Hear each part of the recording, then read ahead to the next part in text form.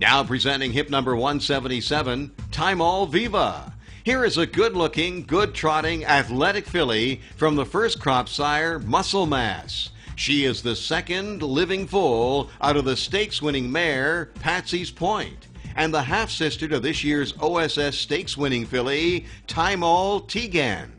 She has it all. Hip number 177, Tymal Viva.